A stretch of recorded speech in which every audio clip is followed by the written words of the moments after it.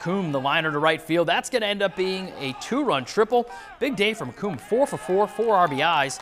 In the third, Chris DeRosi with a three-run double. The Monks would score nine in the inning. They take game one of the doubleheader 16-0.